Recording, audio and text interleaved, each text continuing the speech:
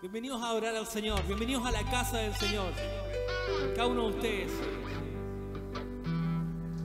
Vamos a orar y bendecir el nombre de Dios. Amén.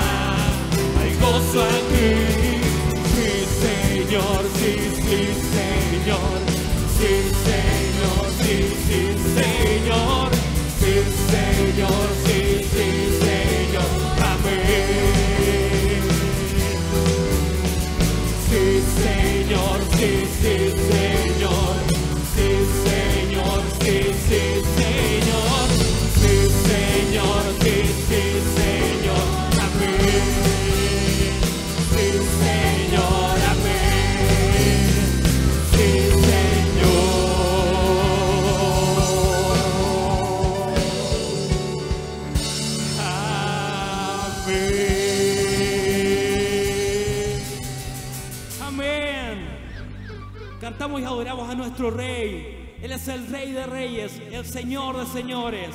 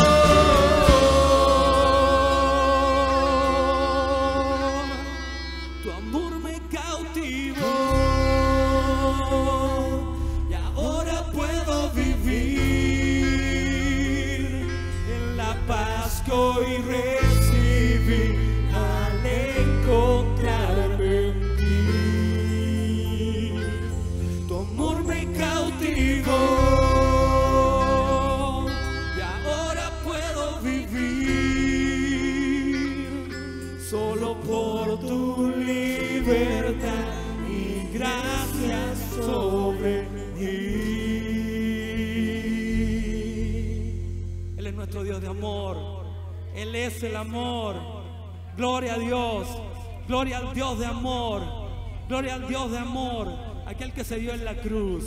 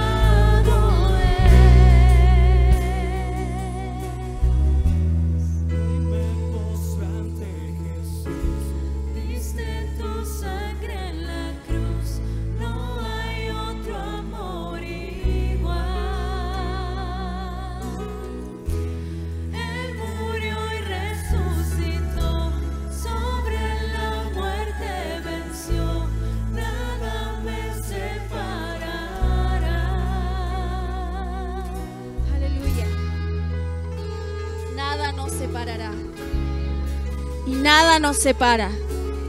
Aún las tormentas, aún los días difíciles, aún cuando la Biblia dice que hay, día, hay un día malo, ni aún ese día nos puede separar. Porque tenemos un veredicto más que vencedores.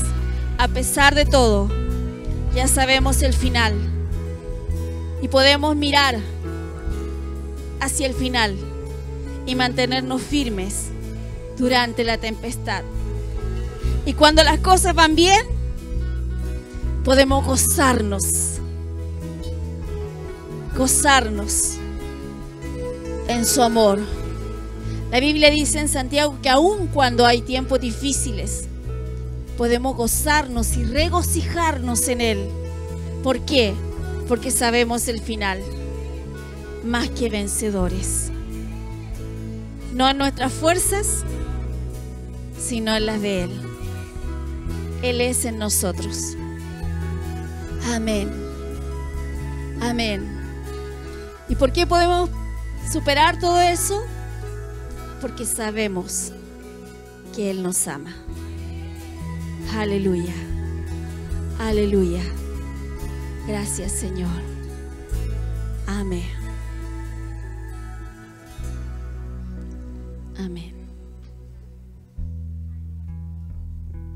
Hola. ¿Puedes saludar al hermano que tiene...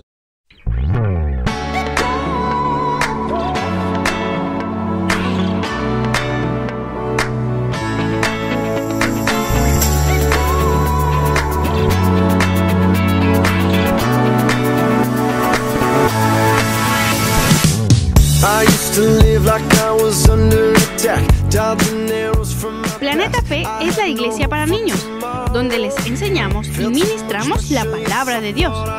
Invitamos a todos los niños de 2 a 12 años a pasar a su reunión.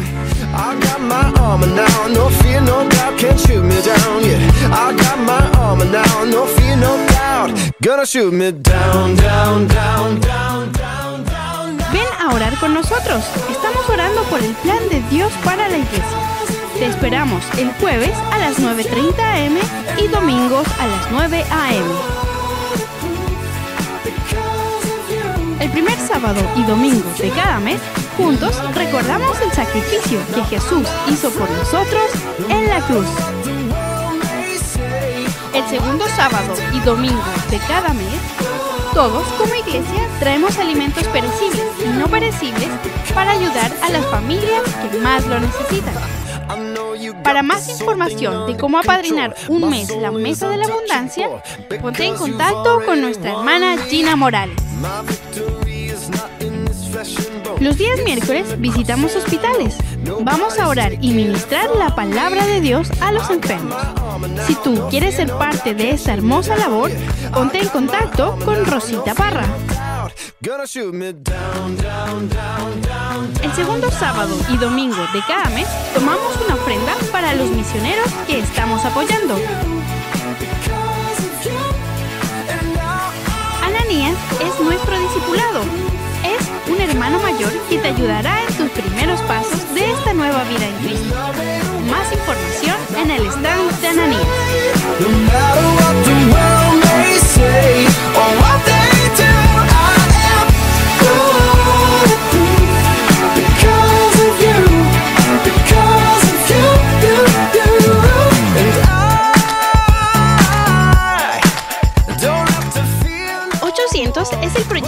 Dios ha puesto en nuestros corazones para comprar el lugar donde hoy nos reunimos.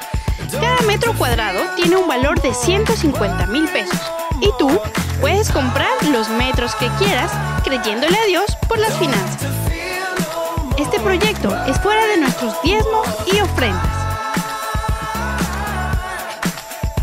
Al final de nuestra reunión, te invitamos a pasar por la librería. Tenemos para ti un variado material que te ayudará en tu estudio personal. Si necesitas consejería en cualquier área de tu vida, estamos dispuestos para ayudarte. Ponte en contacto con las siguientes personas.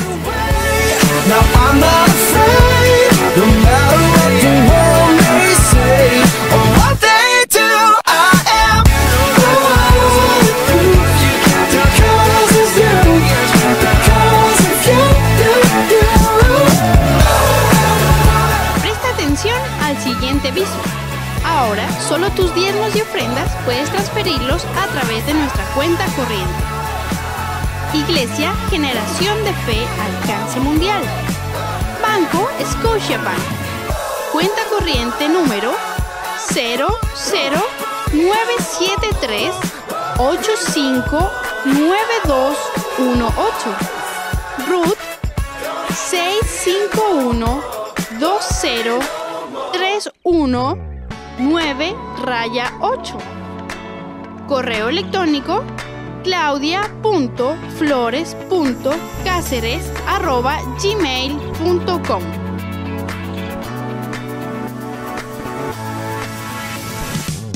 Queremos conocerte y que tú conozcas de nosotros. Al final de nuestra reunión, acércate a nuestro stand para darte la bienvenida.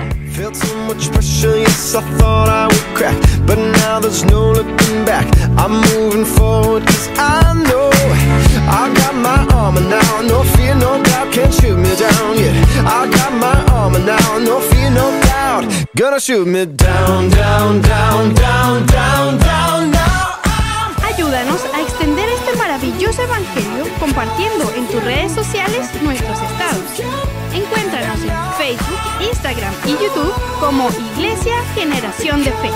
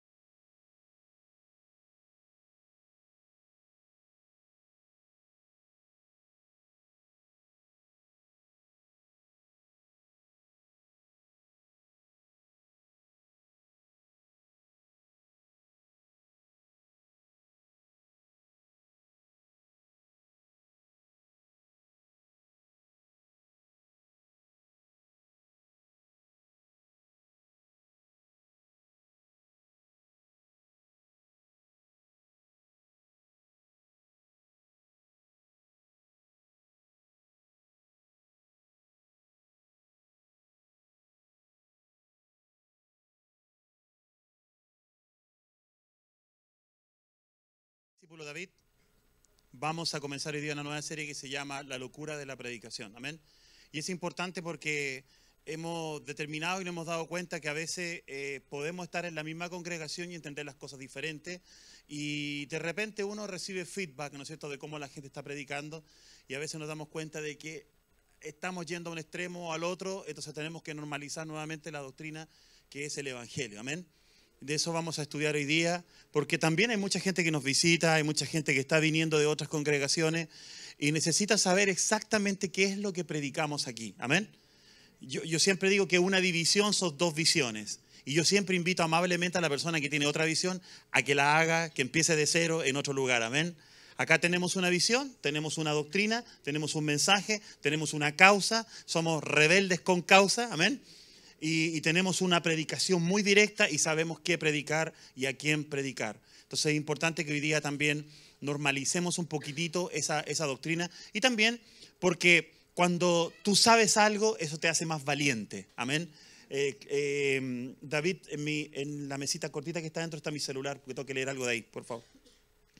Entonces, eh, si me acompañan por favor a 1 Corintios 1.21 y vamos a empezar ahí.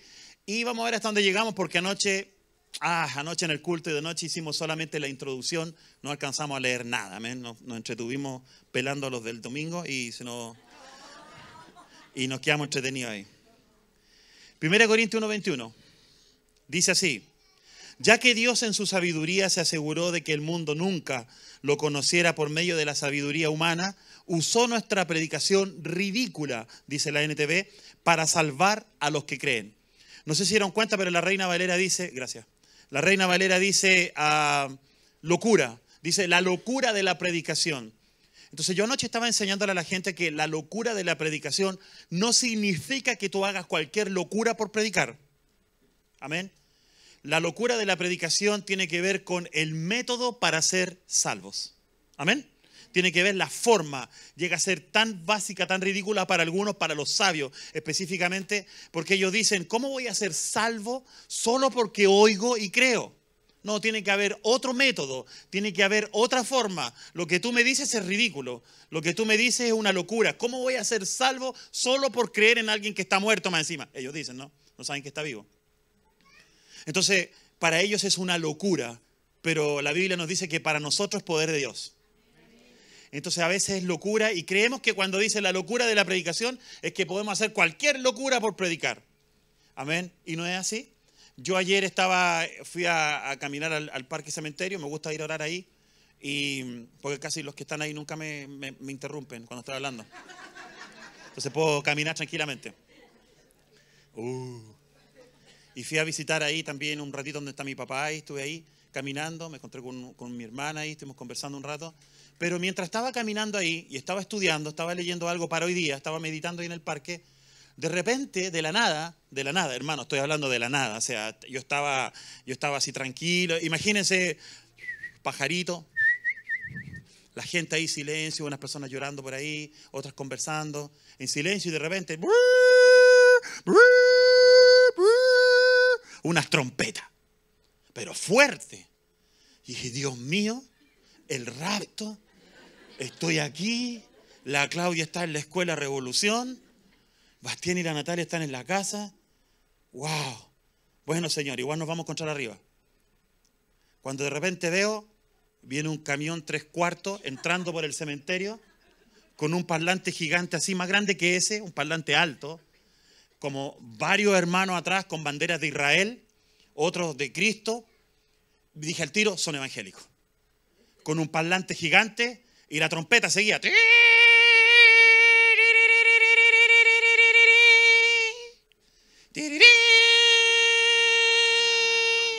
Pero fuerte, hermano, fuerte. Y dije, ¿qué está pasando?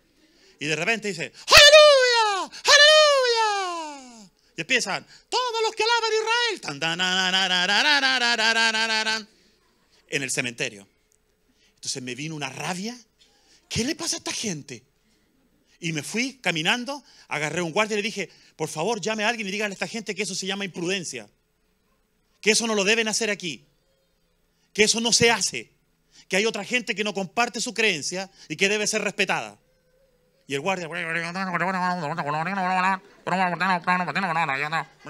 el caballero que está aquí está enojado. Y llamaron y parece que se calmó un poco la cosa, pero por un rato, porque después estábamos con la Carola ahí y el pastor empezó a predicar y el parlante a todo ritmo. Entonces yo dije, wow, yo creo que toda la gente que estaba ahí se molestó y tiene que haber dicho, estos evangélicos no respetan a nadie. Y por eso hoy día les quiero predicar, porque a veces nosotros tampoco respetamos a nadie. Y déjeme decirle algo, predicar ser osado no es sinónimo de imprudencia. Pueden empezar anotando eso si quieren. Amén. No somos imprudentes. Nosotros predicamos y anunciamos a una persona. Si imagínense Dios viene y dice, soy Jesús, todos creen en mí. ¡Ah! No lo hace. Ni siquiera Jesús lo hace. Jesús simplemente se presenta y la gente tiene siempre la opción de recibir o rechazar. Entonces yo estaba muy enojado. ¿Para qué le cuento todo lo que dije? Estaba enojado, estaba muy molesto porque empecé a pensar en esa gente que es católica, en esa gente que tiene otra religión y que estaba ahí y está ahí. ¿Por qué tiene que soportar eso? Ahora, no me malentienda. Yo entiendo que los hermanos tenían un buen corazón. Los hermanos iban alegres porque iban despidiendo a alguien. Imprudencia, pero alegres. ¿Me entienden? Por otro lado, capaz que ellos iban arriba del camión diciendo, la estamos haciendo. Estamos en victoria. Toda la gente está escuchando el Evangelio. Tal vez en su, buena, en su buen corazón iban pensando en eso. A veces hacemos cosas y creemos que están bien, pero a veces son cosas que cierran la puerta en vez de abrirla. Y yo quiero conversar contigo de eso hoy día porque quiero animarte. Yo he escuchado algunas cositas que pasan aquí a veces, entonces quiero corregir algunas cosas. Pero imprudencia no es sinónimo de osadía. Amén. ¿Aló? ¿Puedo decir algo más? Diga, sea brutalmente honesto conmigo, pastor, dígamelo. Ok, pero gracias. Pero usted no tiene por qué llegar a una casa a imponer nada. Yo he escuchado de gente que va a las casas y le dice a la gente, saca eso porque es del diablo, saca eso, eso no tiene nada que... ¿Qué te importa a ti? ¿No sabes cuánto le costó esa cuestión a la persona? Tú no tienes por qué llegar a imponer nada a una casa. Tú tienes que llegar con amor, con respeto y con el Evangelio. Y cuando se abre la puerta, tú entras con el Evangelio. Aleluya. Pastor, ¿qué le hicieron en Canadá? Nada. Es que estaba meditando en estas cosas porque a veces, a veces llegamos y queremos imponer las cosas y no tenemos, no somos, no tenemos derecho a eso. Una vez hace muchos años atrás estábamos con la abuelita la Claudia y con su abuelito en, una pieza. En esa, no sé si ustedes se acuerdan de esas alfombras antiguas donde había, estaba Jesús con un corderito en el hombro así. ¿Cuántos se acuerdan de esa? ¿Cuántos todavía lo tienen? La Francisca parece que lo tiene. ¿Cuántos todavía lo tienen? ¿Se acuerdan o no? De esas alfombras así que usaban como, como cuadro. ¿Gobelino? Mire, que yo ni, esa palabra ni me la acordaba. Ah, no. Es que yo soy de acá, de esta otra gente, de los milenios soy yo. Y, y resulta que cuando estábamos ahí con ella, eh, empezamos a predicar el Evangelio. Tenía unos crucifijos grandes, unas cosas, unos rosarios se llaman, ¿no? Grandes, de madera, lindo. Y resulta que cuando le estamos hablando el Evangelio, ella se convierte al Señor y de repente ella solita, sin que nosotros le digamos nada, dijo, ¿y ahora qué hago con todo eso? Nosotros le dijimos, ¿por qué? Porque ahora ya todo eso no me sirve porque ahora tengo a Jesús en mi corazón. Amén. Pues nunca le dijimos, saca esto, esto es satánico. Nosotros, a nosotros una vez, a mí hace años atrás me dio por, por, por ser como medio coleccionista de pintura, pero barata, sí, pues no de la... Y entonces, usted sabe que uno cuando quiere ser artista y quiere, hacer como, quiere ser como un chileno bacán, va al Bellavista, ¿no es cierto? Y ahí, y ahí busca así como ser hippie, como diferente a todo, pero en realidad sigue siendo el mismo chileno que igual que todo. Y quiere copiar el modelo, ¿no? nada más. Entonces fui para allá, iba pasando por la calle y vi dos cuadros espectaculares y dije, ya, y de, y de puro mono, porque mis compañeros estaban comprando, yo también compré. Dos cuadros. Los traje a mi casa, los enmarqué, los puse en el living. Ahora yo era snob, ¿no? Tenía, era, claro, tenía cuadros. La gente iba, uy, qué lindo el cuadro. ¿Quién es el pintor? Ni idea. Abajo decía quién era el nombre, pero una cuestión así con rayas. No se ha visto que los nombres de los pintores son como. Entonces de repente llegó un hermano muy bien intencionado, no, no, no, no tengo nada que decir porque él tenía un buen corazón, él quería ayudarme. Y llegó este hermano y me dice, ¿tienes ese cuadro? Ah. Llega ese hermano y me dice, em, mira, en ese cuadro está la reina del cielo, la Virgen, con su hijo. Al lado está la luna. O sea, tu casa está llena de misticismo. Eso te va a hacer mal. Eso está influenciando sobre tu casa. Esa energía. Yo, ay, mi cuadro que me haya costado.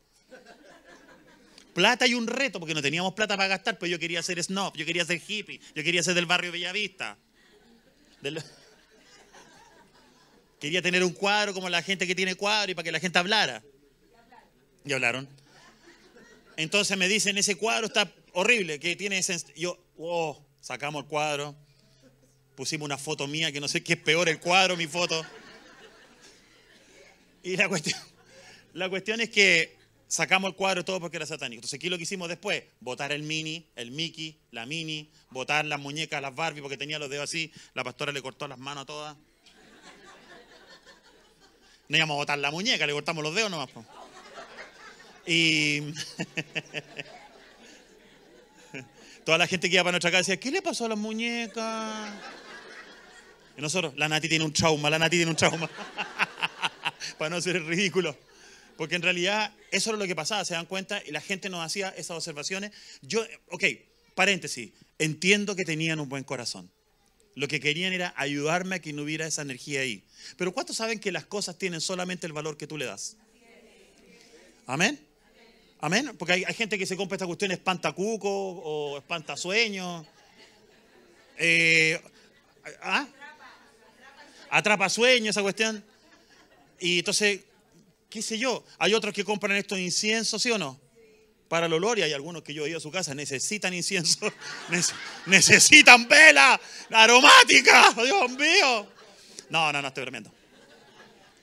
Entonces, hay algunos que yo le he preguntado, ¿y esa vela? Para el olor. Ok, es para el olor. Él no ve, él no ve energía, no ve nada, es olor. Amén. Pero llega alguien y dice, ¡esas velas! Nosotros, escuchen bien, nosotros somos llamados a hablar de una persona, no a criticar lo que las personas tienen. Escuchen bien, cuando nosotros vamos a predicar el Evangelio, todos, toditos los que están al otro lado para escuchar, tienen detalle y tienen problemas. O sea, si tú vienes a mí y me dices, si tú hubieras venido a mí, escucha bien, si tú hubieras venido a mí y me hubieras dicho, eh, cuando yo estaba metido en la drogadicción, cuando yo estaba metido en el alcoholismo, y tú me hubieras dicho, eres un drogadicto, vas a ir al infierno. Yo te hubiera dicho, ¿me entiendes? Porque la Biblia lo dice, que la gente decía, comamos y bebamos porque también mañana vamos a morir. Entonces la gente sabe que va a morir, la gente sabe que si come y lo pasa bien, de, hecho la gente decide disfrutar la vida porque dice, de algo hay que morirse, ¿sí o no? O sea, la gente sabe que se va a morir. Y si tú vas a ellos y le dices, si sigues por ese camino vas a morir, ellos te van a decir, esa fue mi elección. Esa fue mi decisión. Yo decidí morir drogándome. Yo decidí morir de esta manera, pero pasándolo bien según ellos, ¿no es cierto? Entonces no es nada nuevo que tú le digas, te vas a morir si sigues por ahí. Ellos saben, de hecho decidieron ese estilo de vida.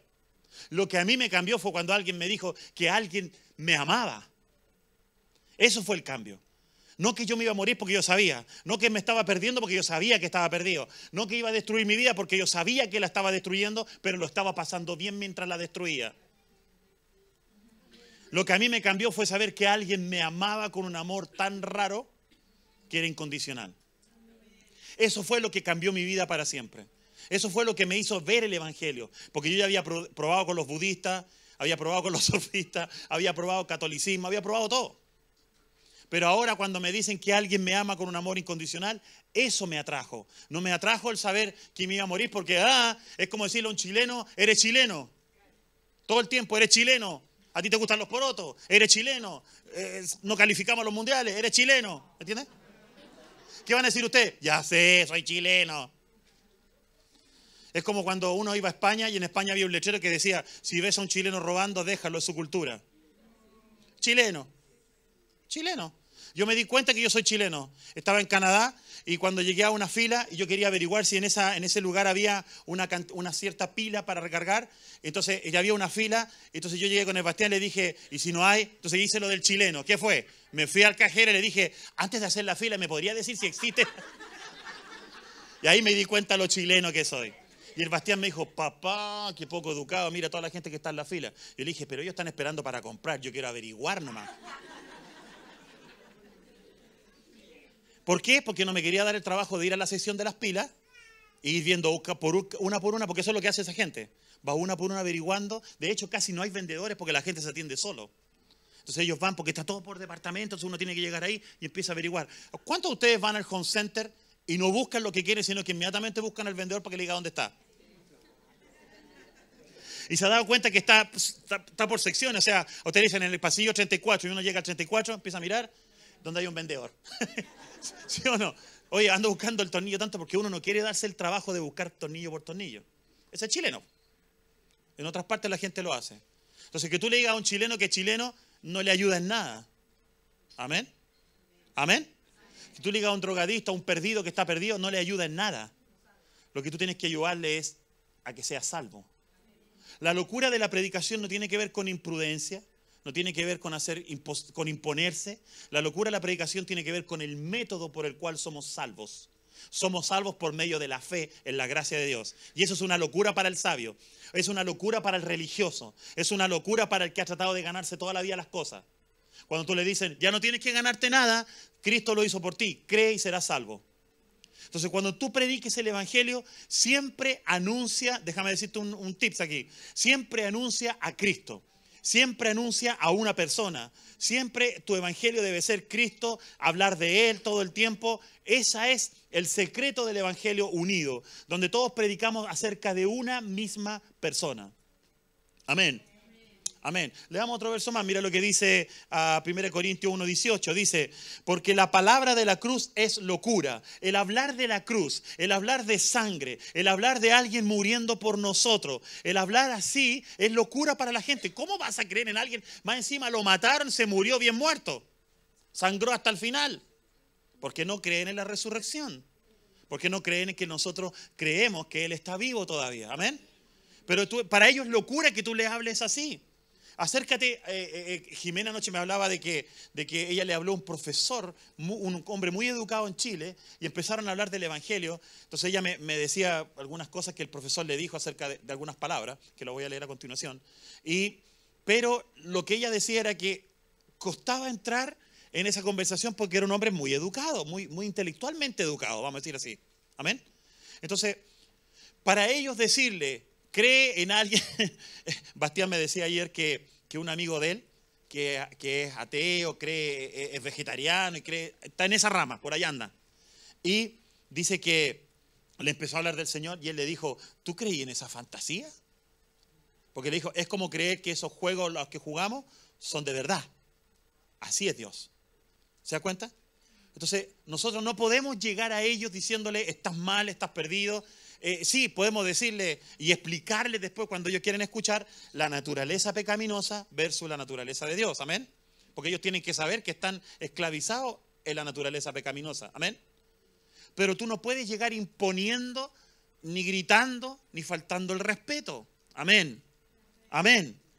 A faltar el respeto no es ser osado. Dígale que está al lado tuyo. Te dieron otra vez. Vamos, dígale. Pero faltar el respeto no es ser. Mire, yo una cosa que, que admiré de Canadá y que la encontré tan extraña es que en Canadá tú puedes ser lo que tú quieras y todo el mundo te respeta. Tú puedes ser lo que tú quieras, todo el mundo te respeta. Pero ve a comprar una cerveza antes de los 21 años. Te piden licencia, te piden tu carné. Son súper, pero súper, súper con respecto a cerveza, a, restricciones vehiculares, a acoso. O sea, mi, jefe fuimos a comprar un día un café y él llegó al café y, la chica no le dio todo lo que tenía que darle. Entonces él dijo, oye, me falta esto. Y, y vino el manager y le dijo, lo que pasa es que tenemos a una persona en práctica. Y mi jefe le dijo, bueno, yo vengo a comprar, no vengo a enseñarle a nadie nada, yo quiero mi servicio. Tenía razón. Y el chico le dijo, no me acose. Inmediatamente. ¿Por qué? Porque hay leyes para todo eso allá. Tú tienes que ser, no puedes gritarle a una persona. en, el avión decía, si tú le gritas a uno de la, de la azafata o al piloto o cualquier persona, tú en el país que llega eres arrestado inmediatamente. Y, las fianzas o las multas son de dos mil dólares, casi un millón y medio cada una. Tú sabes que allá en Canadá, si tú, el máximo es 50, como aquí ahora, en las calles de Santiago, si tú pasas de 50 a 20, hay lecheros grandes que dicen, si te pasas 20 kilómetros de los 50, las multas son, yo calculaba plata chilena como 150 lucas. Pero si te pasas 40 kilómetros de los 50, o sea, vas a 90, la multa es 4 millones de pesos chilenos. Si vuelves a reiterar, te quitan el auto para siempre y la licencia. O sea, no es que va, como dicen aquí, al, al- al corral y después paga una fianza y saca ahí el autito. No, te lo quitan. Entonces yo le decía al Bastián, de esa manera cualquiera anda 50 todo el rato, po, porque te educan de esa manera. O sea, hay una educación que es muy fuerte, pero hay una cultura de respeto con respecto a los demás. O sea, si yo soy cristiano y evangélico, me respetan. Pero yo debo respetar al musulmán, y yo debo respetar al judío, y yo debo respetar al gay, y yo debo respetar a cualquiera. Tengo que respetarlo, aunque no esté de acuerdo con su estilo de vida. Amén. No tiene nada que ver si está de acuerdo a la Biblia. Sabemos que la Biblia no está de acuerdo. Sabemos lo que Dios ha creado.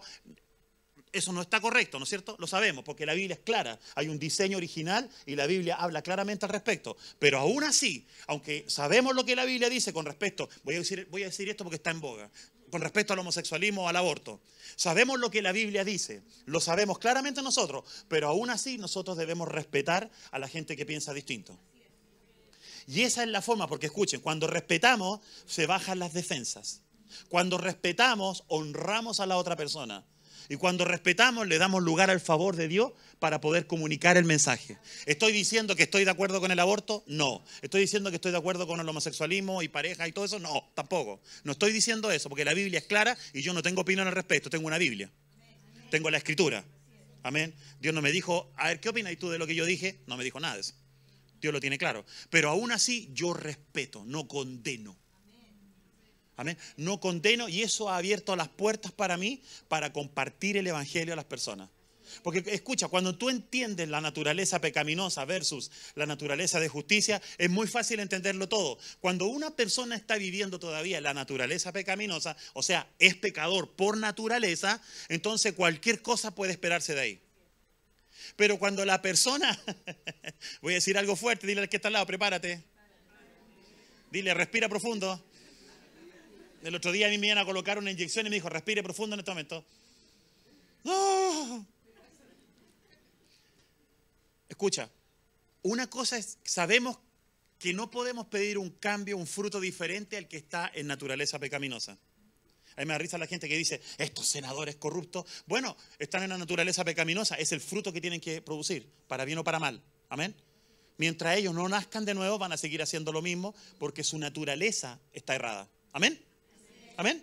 El problema es cuando ya somos naturaleza de justicia y seguimos practicando esas cosas. Porque ahí es como, hello, algo no entendiste. O sea, fuiste cambiado, tu espíritu nació de nuevo, eres una nueva creación y sigues practicando eso, significa que algo no estás entendiendo. Amén. Para no decir que tienes un demonio en la mente.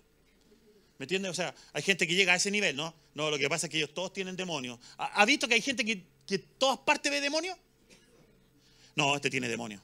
No, a veces es naturaleza no cambiada. O sea, perdón, es mentalidad no alineada a la nueva naturaleza. Punto. Y hay que darle tiempo para que crezca el cristiano. Amén. Amén. Dígale que está al lado suyo, tienes esperanza. Eso le gustó a la Francisca. Tiene esperanza. Vamos, alguien que se lo diga, por favor, aquí a, a Jacim. Entonces, déjeme decirle algo. La locura de la predicación, entonces, no es que hacemos cualquier locura. ¡Ah! Vamos por la calle, ¡ah! interrumpamos todo, porque, ojo, hoy día tenemos libertad de culto, cosa que otros países no tienen, pero también libertad de culto no significa pasar a llevar las otras libertades. ¿Estoy diciendo que no hagan nada? No, estoy diciendo que te estoy mostrando cómo podemos llegar a más gente haciendo lo que tenemos que hacer. Porque yo he decidido no actuar en base a una crisis, no ser crisis mentalizado, ¿me entiendes? O sea, eh, ¿vieron lo que está pasando? Están aprobando estas leyes, están aprobando lo otro. Y si ya lo están aprobando hace rato, hermano. Un pastor me escribió hace poco y me dijo, ¿usted no va a participar en la oración? Yo le digo, hermano, llevamos 10 años orando y parece que aprueba más leyes, dejemos de orar. Porque han aprobado más leyes que nunca en estos años donde hemos estado orando. Y ojo, en dos gobiernos diferentes. En dos tipos de gobiernos diferentes. O sea, si nosotros creíamos que este iba a ser el gobierno más conservador y que no iba a salvar, para nada. Nos engañaron otra vez. 2-0.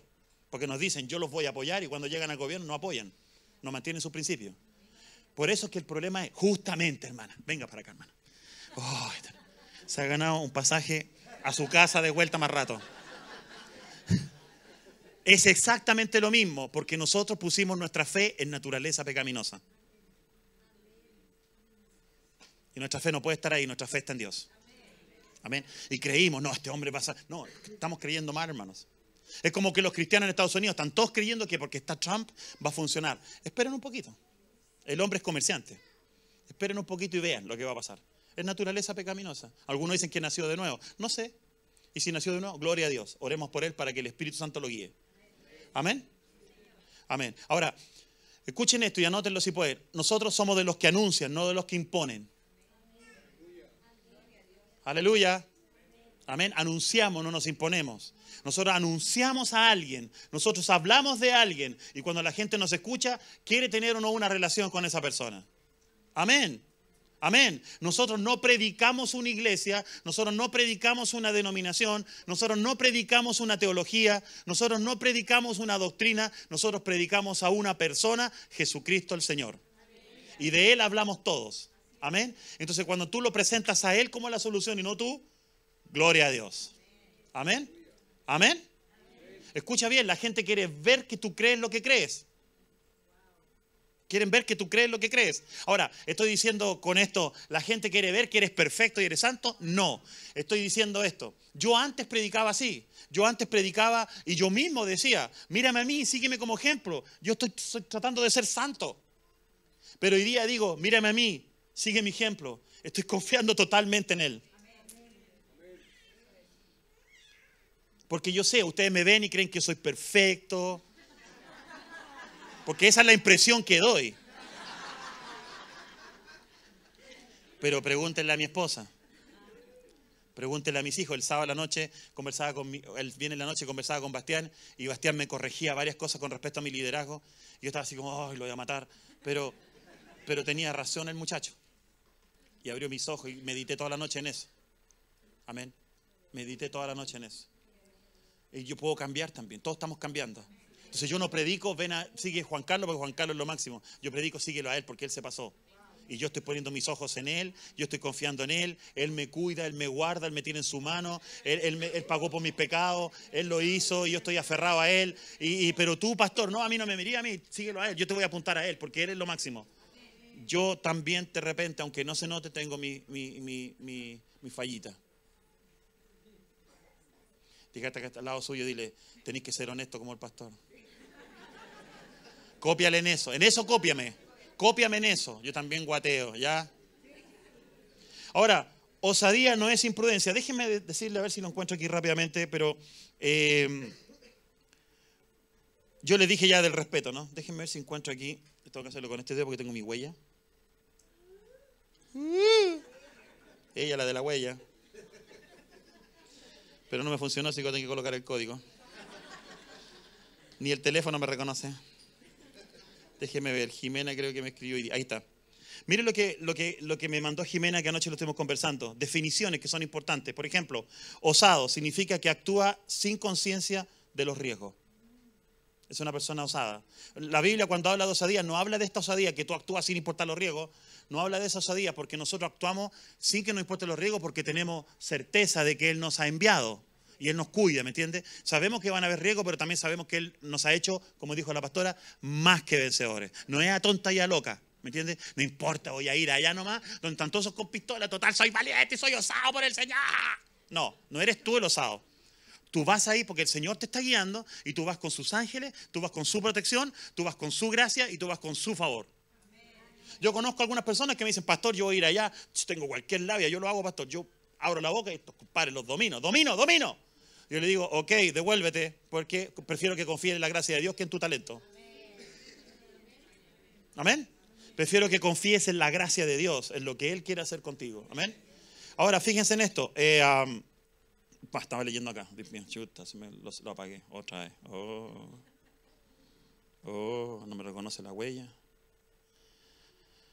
Bueno, aquí está. Ahora, ¿qué es lo que es ser valiente? Miren, dice tener coraje. Está relacionado con una actitud del corazón, ser valiente. Dice, tiene coraje sabiendo los riesgos, hace lo que hace porque es necesario. Eso es distinto a osado. Y esa es la valentía, ese es el atrevimiento que habla la Biblia. No es hacer una locura, una tontera. Es ser valiente sabiendo los riesgos, pero también teniendo confianza en el único que nos puede ayudar. Amén. ¿Y qué es lo que es ser audaz? Bueno, eso es distinto. Es alguien con la habilidad de ver, actuar en algo que otros no ven. Amén. Dice, como el alfil del ajedrez, ve un camino directo al problema y salta casi siempre de manera efectiva. Amén. Entonces, no hay que confundir definiciones de nombre. Yo cuando digo osado no estoy diciendo hagan cualquier cosa total, no importa si la persona... Porque Pablo en un momento determinado a su gente, a la gente que él había fundado, la iglesia que él había establecido, él les dijo, en esto voy a ser bien osado con ustedes, lo que les voy a corregir y lo que les voy a decir. Por ejemplo, yo puedo ser osado con ustedes, la pastora Claudia puede ser osada con ustedes porque son nuestra familia, amén. Y, y tenemos que corregir cosas, no podemos dejarlas pasar, amén. Amén pero yo no puedo ser osado en la familia de otro, no puedo ir a decirle a otro cómo educar a su hijo. Pero sí puedo, si es que la persona me dice, pastor, ¿le puedo pedir un consejo? ¿Cómo trato esto con mi hijo? Eso es completamente distinto. Amén. Tú no tienes nada que ir a una casa y decirle, ay, si ese fuera mi hijo. Gracias a Dios que no es tu hijo, ¿no es cierto? Pero tú no tienes por qué ir a una casa a comentar las cosas. Eh, se imagina, usted va a una casa y usted dice, uy, en mi casa mi esposa me sirve todo. Y después usted se va de ahí, y genera un conflicto matrimonial. En vez de ser bendición, fue maldición en esa casa. Usted no tiene por qué ir a opinar nada de una casa que no es la suya. Además, la astilla, la viga, la astilla, la viga. Hagan así, la astilla, la viga. Hágale que está al lado suyo, sí. Hágale nomás, con confianza, vamos, hágale. Así la viga, ¿no es cierto? Claro, vamos para otras casas y opinamos, pero ¿y la nuestra? ¡Ah!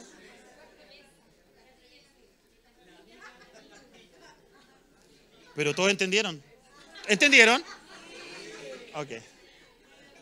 Si saben que yo digo todo al revés.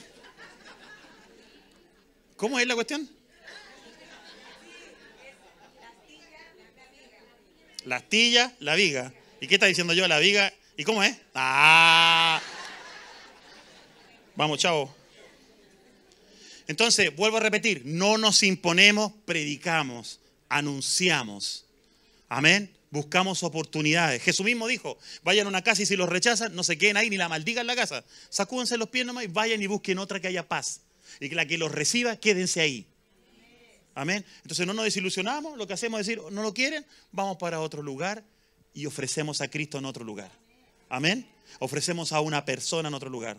Amén. De hecho, en todas partes, hermano, es que donde lleguemos va a ser un desastre. Pero por otro lado, hay casas más ordenadas que la casa de los cristianos. No estoy hablando de de limpieza, de la familia. Familias espectaculares que nunca han tenido a Cristo, pero que lo han hecho bien.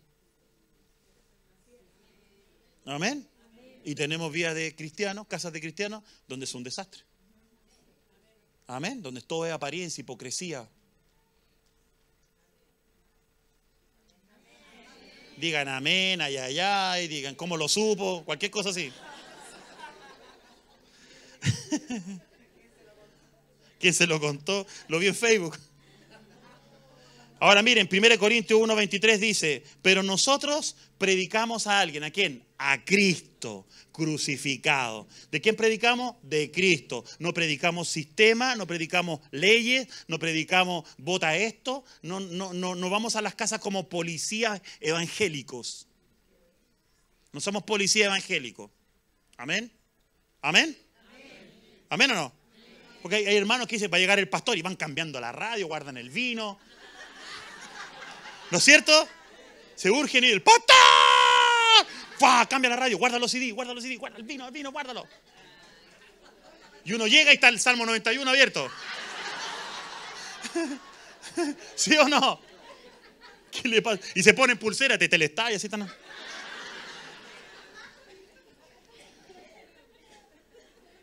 Ta- No es hipocresía, hermanos. Amén. Somos lo que somos y punto. Amén. Amén o no. Amén. Y eso es lo que hace la Biblia. Entonces nosotros predicamos qué? A Cristo crucificado. Para los judíos ciertamente es un tropezadero, pero para los gentiles es una locura. Porque ellos nunca lograrían entender que es solo por fe en Cristo, que es por el oír. Yo estaba en Canadá y, fui a una iglesia que yo la quisiera, de verdad, un edificio, wow, una catedral. Se llamaba, eh, la cate- se llamaba Iglesia de Gracia Calvario. Puros norteamericanos, por supuesto, eh, canadienses, mejor dicho, y estaban todos ahí. Y, de repente empezaron a entrar sillas de ruedas, pero muchas sillas de ruedas, porque al lado había un hogar para ancianos, adultos le llaman ellos, ellos le llaman senior, que me gusta cómo lo tratan, porque no es un hogar de ancianos, sino que, que a veces aquí lo, lo, lo hacemos despectivamente, sino que ellos le llaman adultos senior, wow.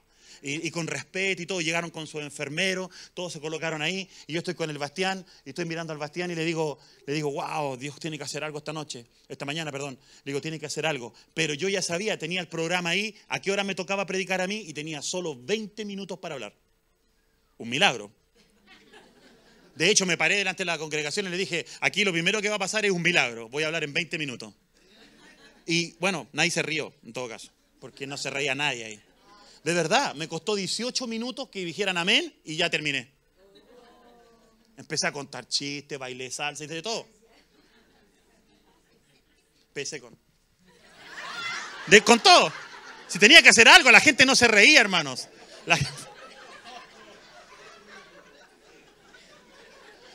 La gente no se reía, la gente no decía amén. ¿Saben qué? ¿Saben qué? Yo amo esta congregación.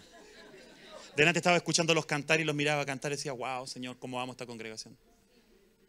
Porque allá nada, era cero, no se sentía nada, hermano. Pero nada. De hecho, fui, a, fui en un momento atrás a mirar, a, ver si estaba el micrófono bien puesto, que me pusieron el micrófono acá, y, y de repente veo en la mesa, y era el día de comunión también, de cena al Señor, y habían unas bolsas plásticas. ¿Qué son esas bolsas? Las fui a mirar, y decían, cena del Señor, galletitas para la cena del Señor, libres de gluten, gluten free. Entonces fue todo un dilema para mí, que el cuerpo que fue molido por mi sanidad, ahí estaba gluten free, libre de gluten. ¿Imaginan el choque en mi cabeza? Y de ahí salí a predicar. Pero ¿saben qué? Fue tremendo. Porque yo le- antes de eso habían orado, yo no sabía que habían orado horas y horas. Porque había habido, un- sucedió dos semanas antes un tiroteo ahí, habían matado dos policías por esa misma calle. Entonces estaba toda la gente con mucho miedo, estaban pasando muchas cosas, estaban orando. Entonces yo me paro y la primera, la primera cosa que digo, ¡ah! Lo primero que dijo fue, tú puedes orar 10 años, pero no va a salvar a nadie. Le dije, porque la fe no viene por orar, la fe viene por oír. Esa fue mi primera declaración. Ahora entiendo por qué están todos tan callados. Pero yo estaba diciendo la verdad. Nadie se salva por orar, se salvan por oír el Evangelio. Tú puedes orar para que se te abra la oportunidad y la puerta, pero el Evangelio es lo que cambia a las personas. ¿Y cómo está tu familia? Aquí estamos orando por ellos para que se salven, pastor. Ey, deja de orar y anda a predicarle. A lo mejor trata de mejorar un poco tu testimonio también, porque a lo mejor por eso no vienen.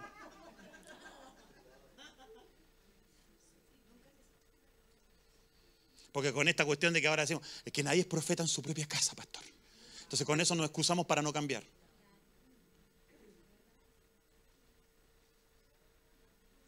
Mírenme nomás si estoy hablando en serio. A ver, cu- Nos escondemos detrás de, esos versos para justificar mente no renovada. Amén. 1 Corintios 1, 22, 14 dice, pero el hombre natural no percibe las cosas que son del Espíritu de Dios porque para él son locura. Tratamos de que la gente, vamos a predicarle a la gente y lo primero que queremos que entienda el Apocalipsis, que entienda la justicia de Dios, que entienda todo. Hey, si no han nacido de nuevo no van a entender nada del Espíritu. Porque todo lo que le digamos, tenemos mucha Biblia. A veces tenemos tanta Biblia que le, tiramos la Biblia entera a la gente para predicarle. La gente no te va a entender ni palote.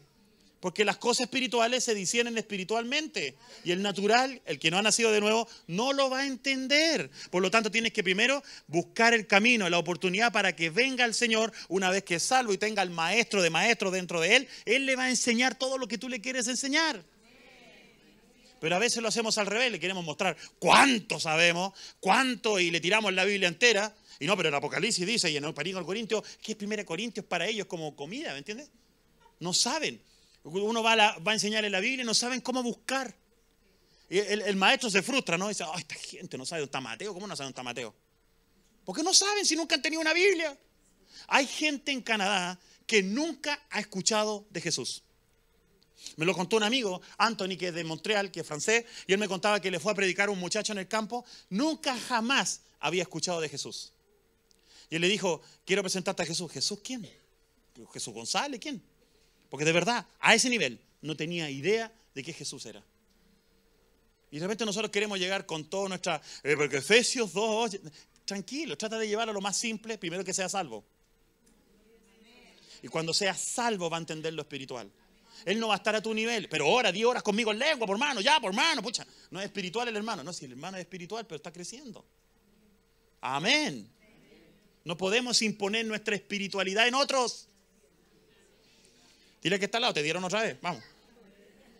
Pero a veces queremos que nuestra espiritualidad otros la tengan, no la tienen, hermano.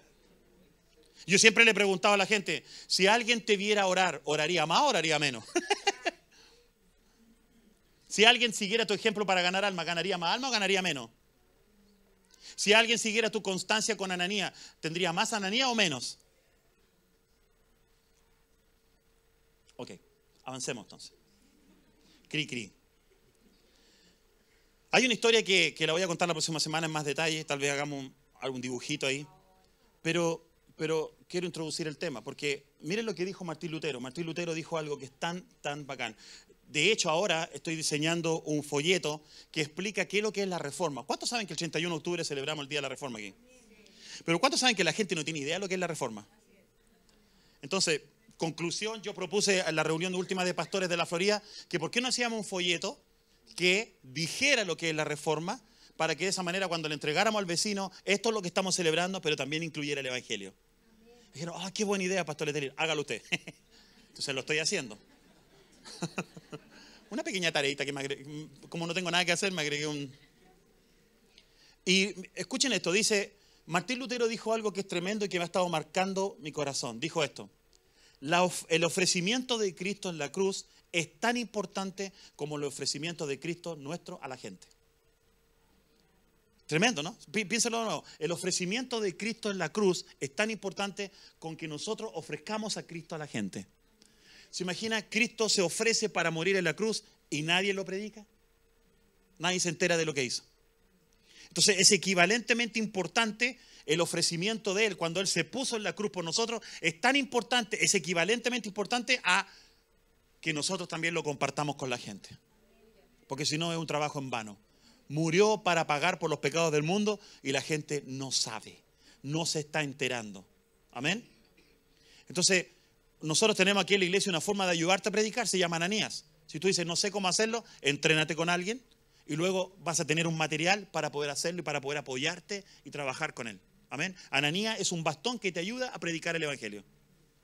Súper fácil, tienes un manualito, lo andas trayendo en tu bolso, en tu cartera, donde sea, pum, y lo usas así. Amén. De hecho, estoy pensando que el que lo ha comprado y ha hecho dos discípulos, les voy a mandar como premio en PDF para que lo tengan en el celular. Puede ser, ¿no? No, mejor que no, porque si no, no compran. Después pierdo plata yo. Me acabo de cambiar de opinión. Entonces, ahora miren lo que dice. Predicar, dice Lutero, es. ah, predicar, dice Lutero, es mucho más, o solamente es, esa es la, la traducción correcta, la ofrenda y la presentación de Cristo. O sea, cuando nosotros predicamos, predicamos, ¿qué tiene que ver con predicar? Tiene que ver con el ofrecimiento de Cristo, presentar a Cristo. Eso es predicar para nosotros. Cuando yo digo vamos a predicar el Evangelio, lo que estoy diciendo es vamos a ofrecer a Cristo. Vamos a presentarlo a Él y que la gente se enamore de Él. Él es nuestro candidato al corazón. Él es el candidato a ser el presidente de tu vida. Aleluya. Amén. Entonces cuando yo digo vamos a predicar a Cristo, ¿qué estoy diciendo? Vamos a ofrecer a quién? Vamos, dígase lo que está al lado, lo acabo de decir, como se lo olvidó tan rápido. Padre, oro por las mentes de los hermanos que retengan en el nombre de Jesús. Cuando predicamos el Evangelio, ¿qué hacemos? Ofrecemos, presentamos a Cristo. Entonces, cuando yo diga, vamos a predicar, ¿qué vamos a hacer? Amén.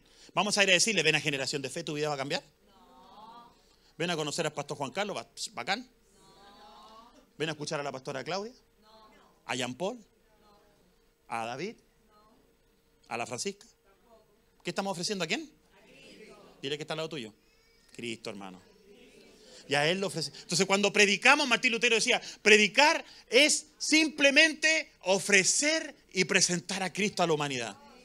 Por eso que Charles Spurgeon dijo esto. Él dijo, una persona, un pastor, un predicador que no hable de Cristo en sus mensajes, que se vaya para la casa y que vuelva cuando tenga algo bueno que decir. Me encanta. Me encanta eso. Porque si no ofrecemos a Cristo, si no predicamos de Él, entonces no estamos hablando de la locura de la predicación. Que para los, para los judíos es tropezadero, pero para los gentiles es salvación. Dice que para los judíos es sabiduría, para los griegos sabiduría, pero dice para los gentiles, para nosotros los que hemos creído, es poder de Dios. Aleluya, ¿dónde dice eso? Lo tengo aquí, creo, a ver. Aquí está, 1 Corintios 1.18, porque la palabra de la cruz es locura a los que se pierden, locura. Pero a los que se salvan, esto es a nosotros, me encanta. Dice, es poder de Dios. Nosotros sabemos que somos salvos por la locura de la predicación. Alguien un día nos anunció, alguien un día se tomó el tiempo de presentarnos a Cristo, el camino, la verdad y la vida, y nosotros decidimos seguirlo. Hagamos lo mismo con la humanidad, hagamos lo mismo con los perdidos, dejemos de quejarnos, dejemos, mire, déjeme decirle algo. Más que hablar de la crisis que estamos teniendo, yo pienso, ¿por qué no vemos esto una oportunidad mejor? Porque yo pienso que si a una chica que tenía intenciones de abortar, tú le predicas a Cristo, esa chica va a tener esperanza y no va a abortar. Es porque no tienen esperanza que abortan. O como sea, no sé, estoy pensando en general. Es porque tienen, no tienen esperanza, no tienen un futuro, no tienen un propósito, que están haciendo lo que están haciendo. Pero nosotros que hemos encontrado el propósito, estamos seguros en lo que vamos, ¿sí o no? Y nosotros queremos que ellos sean seguros como nosotros, ¿no? Yo quiero eso, quiero que toda mi familia, todos mis hermanos, todos mis primos, todos, toda la familia que me rodea tenga la seguridad que yo tengo con respecto a la salvación. Aleluya. Aleluya. Entonces yo quiero predicarle a esa persona que es la misma persona que a mí me sostiene en este momento. Porque yo no lo predico a Juan Carlos porque Juan Carlos no salva a nadie. Gracias, hermana. Le digo así, así es. Sino que Cristo, diga Cristo, salva a todos. Murió por todos. Entonces predíquelo a Él. Hable de Él. La, pastora Claudia cuando me estaba conociendo, después yo supe, a todos sus compañeros y a todas sus compañeras le hablaba de mí todo el día.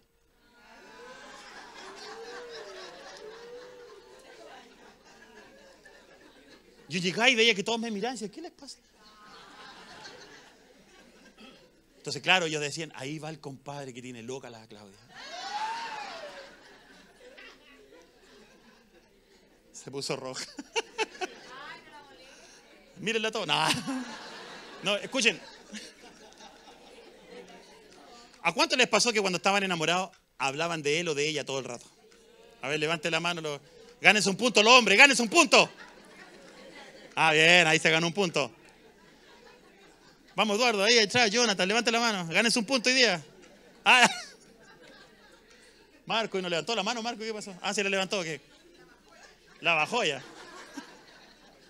Pero ¿cuánto les pasaba que cuando estaban enamorados hablaban de la persona que están enamorados todo el rato? Ay, si es lo máximo, estás lindo. ¿Se acuerdan o no? Hasta se tiraba un puño y decía, ay, si estás lindo, como se los tira. ¿Se acuerdan o no? Cuando estaban enamorados, ¿se acuerdan o no? ¿Qué decían? Estás lindo, como se los tira. ¿Sí o no? Lo que tengo que decir para que se entienda mi ejemplo. Es lo mismo, es lo mismo. Cuando hablamos de Él, hablamos de su maravillosa gracia. Y no paramos de hablar de Él. Por eso yo creo que cuando Jesús dijo, tengo algo contra ti, has perdido tu primer amor. Yo creo que tiene que ver con eso, porque me imagino un matrimonio, al primer amor es esos cinco o seis primeros años, ¿cierto? Y después ya corte, ¿está o no? ¿Sí o no? Ya no hay primer amor. Yo todavía estoy en el primer amor, gracias Señor.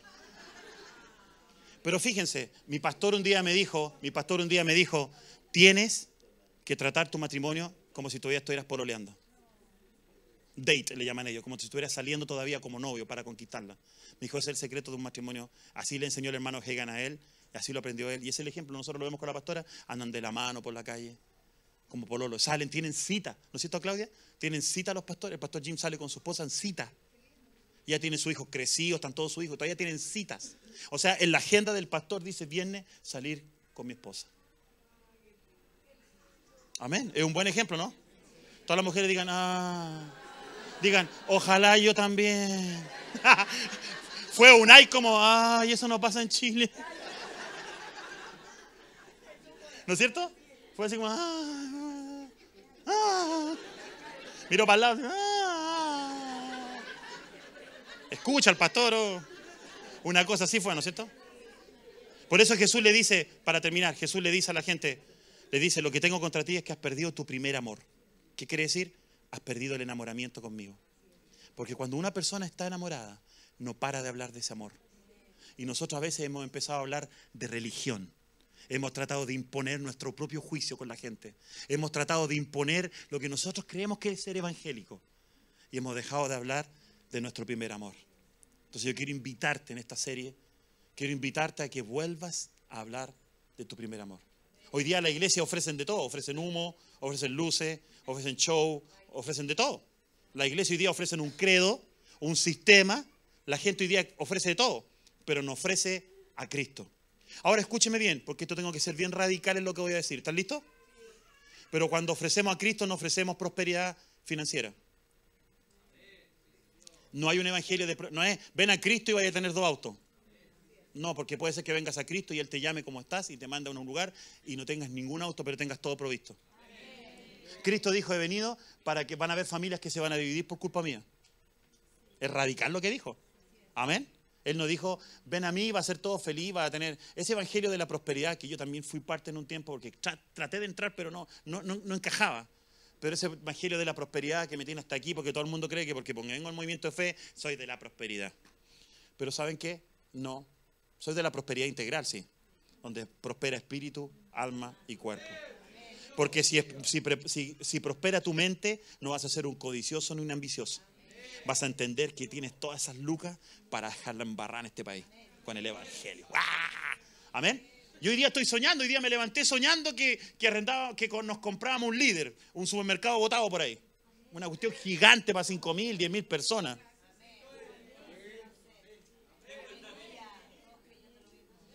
Amén. ¿Por qué no? ¿Por qué no? ¿Por qué no? Dile a este lado, ¿por qué no? Ver.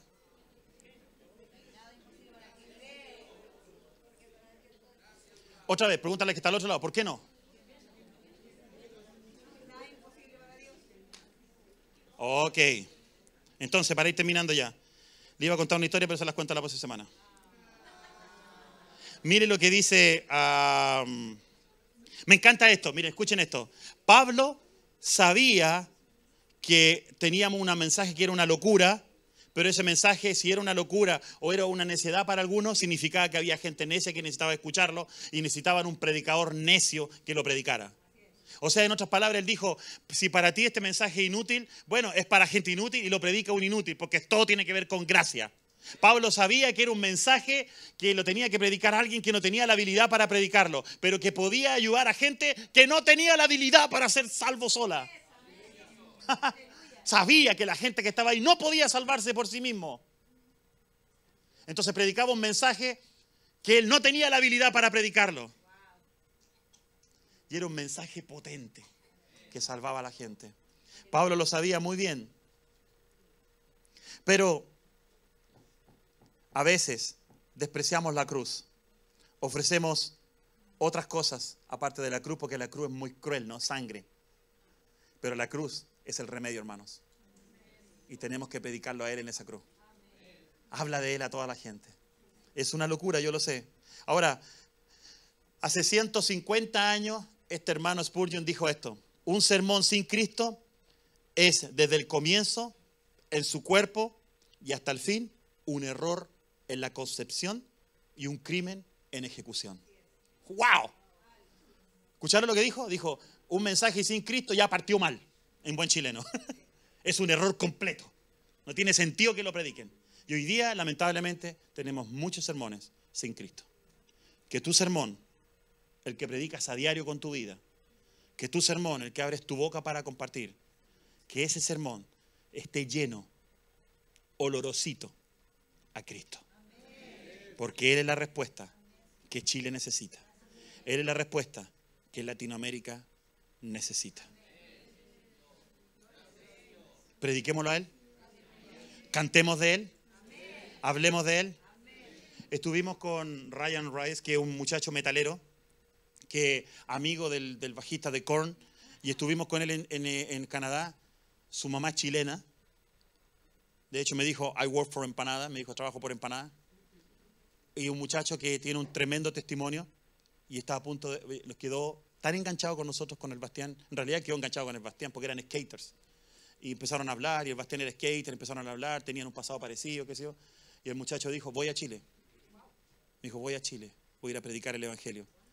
Hay otra muchacha más que dijo, pastor, y si yo me voy unos cuatro o cinco meses de misiones para allá, ¿me enseñaría todo? O sea, ¿por qué digo yo, tiene que, otra gente quiere venir para acá a buscar lo que tenemos? ¿Por qué? Nosotros estamos orando por más obreros, pero ¿por qué? Si ustedes tienen tanto aquí, ¿por qué no nos movilizamos? Audaces. Así que quiero, quiero que por, en espiritualmente, esto es una cosa profe, esto es un acto profético. Empuje que está al lado y dile, ve por los perdidos. Vamos, hágalo. Y ahora dile, ya escuché, lo empujaron como cuatro. y dígale en el oído y predica la locura de la, de la cruz. Amén. Amén. Antes de terminar esta, no- esta tarde, noche, ya no sé dónde estoy, en qué país estoy. ¿Cómo están mis cuates mexicanos? Quiero, hoy día en la mañana me levanté con una, con una cosa muy fuerte en mi corazón y quiero ministrarla ahora, si me acompaña David. Y, y quiero ministrarla, pero quiero que sepan que, número uno, que somos familia. Amén. Y que lo que estés viviendo nos concierne a todos. Pero esta mañana, yo entiendo que pasó algo y, y ya entiendo un poco por dónde va, pero yo percibí en mi corazón que esto tenía que ministrárselo a la congregación. Pero esta mañana vi, vi acoso sexual, vi sangre, vi abuso sexual y el Señor me despertó seis y media, siete y percibí, veía un río de sangre corriendo y veía gente que ha sufrido y había gente que me decía, por esta causa, pastor, por esta causa, por esta causa. Y decía, wow. Entonces me levanté y la pastora Claudia le dije lo que estaba viviendo, estaba todavía estremecido y la pastora Claudia me dijo, puede ser por esto, porque alguien puede estar viviendo esto. Pero percibo en mi corazón que, que aquí hay personas que tal vez necesitan ser ministradas en esa área. Tal vez no, me- tal vez me equivoco y si me equivoco me perdonan. Pero sentí tal estremecimiento en mi corazón esta mañana que este era el momento de ministrar para que seas libre de eso. Porque eran ustedes mismos los que me decían, por esta causa estoy así, esta causa me tiene atrapada, por esto estoy así. Yo no sé si estás presente, estás por video, eh, dónde estás, pero yo quiero orar por ti. Y quiero que lo primero que sepas, que esta es tu familia. Y queremos cortar con eso hoy día. Amén. Y tal vez un día de esto, cuando afine la guitarra, me va a acompañar. Cierren sus ojos, por favor. ¿Me ayudas, Claudia? Gracias, Señor. Entonces, quiero darte esa oportunidad si estás aquí. Quiero ministrar tu corazón. Lo que vi era terrible, pero también vi que Dios podía solucionarlo a través de la oración. Tal vez esto pasó hace muchos años atrás en tu vida, pero hoy día esto está viniendo a ser como muy potente frente a tus ojos. Porque yo veía que esto podía haber pasado hace mucho tiempo atrás. Percibí acoso, no estoy hablando de violación, pero percibí acoso, percibí algunas cosas más físicas. Entonces yo dije, Señor, ¿qué es? Porque yo no tengo estos sueños así, yo no soy soñador en ese sentido, soy soñador en visión. ¿Me entienden? Soy soñador con ir adelante, soy soñador con, con avanzar, pero estas cosas tan específicas, ayer me pasó en la mañana y hoy día el Señor habló dos cosas, una de mi familia y una con respecto a la iglesia.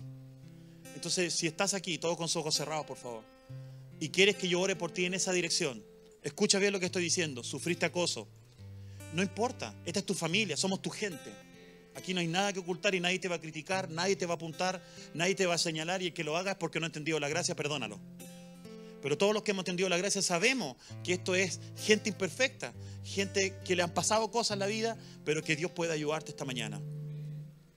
Entonces yo quiero simplemente, simplemente eso, la guitarra por favor. simplemente quiero ayudarte hoy día orando por ti, para que se acabe toda esta situación. Eso es lo que percibí. Tú me decías, por eso estoy así. Y al orar se acababa esa situación. Se acababa. Cuando yo ponía mis manos sobre ti con la pastora Claudia, se acababa esto. Y empezaba algo nuevo. Si estás aquí y no te da vergüenza y quieres que yo ore por ti, levanta tu mano y yo voy a orar por ti si quieres que te ayude con algo de tu pasado. Tal vez fuiste acosado, tal vez fuiste maltratado, tal vez fuiste, fuiste abusado con palabras, no sé, pero yo vi algo físico y necesitas que yo te ayude orando. Levanta tu mano y dime, pastor, yo necesito que ore por mí. A mí me pasó algo. ¿Vienes a la oración? Aquí, ponte acá, por favor. Yo pido a la congregación que no levante sus ojos para mirar y decir, ah, ella, él. Al contrario, manténgase en oración con sus ojos cerrados. Porque esto es una cosa muy importante. Esto es algo de vida o muerte, yo lo vi. Años con esto. Años. Años luchando con esto. Sin poder ser libre. Y hoy día el Señor te quiere hacer libre de esta situación. Amén. Yo no te voy a preguntar detalles, no quiero que me cuentes si fue un pariente, un tío, no quiero que me cuentes nada de eso, no, me interesa. Yo lo que vi es que nosotros poníamos las manos y esto se acababa. Esta situación que te ha perseguido por años, esta situación que te ha, te ha hecho daño por años, esta situación terrible en tu vida, que te tiene atrapado, que te tiene acosado, hoy día se acaba. Así me mostró el Señor esta mañana. Y yo estoy actuando en fe, estoy actuando en base a una visión. Les conté, yo no suelo soñar estas cosas, pero hoy día amanecí estremecido por esto. Y ahora que veo a todos ustedes aquí adelante, hermanos míos, mi familia, ahora entiendo el estremecimiento. Y también me molesta un poco el saber que estuvieron todo el tiempo aquí conmigo y que no pudimos ayudarles antes. Perdónennos. Se han estado tanto tiempo con este dolor en sus corazones. Pero el Señor hoy día ha hecho algo por ustedes. En el nombre de Jesús. Y con esta congregación que es tu familia. No es una congregación que te apunta. No es una congregación que te juzga. Porque amados que están aquí adelante llorando, déjenme decirle algo. La gente que está sentada también tiene sus cosas. Solo no tiene en esta área. ¿Te das cuenta? No lo tiene en esta área. Pero también tiene sus cosas. Y también, póngase acá por favor. Pónela ya acá, acá, Ricardo. Aleluya. Y vamos a, a tratar este tema de una vez y para siempre. ¿Les parece? Ok, congregaciones, tire su mano hacia acá y empieza a orar por cada una de estas personas que son tus hermanos, que es tu familia y que hoy día van a ser libres.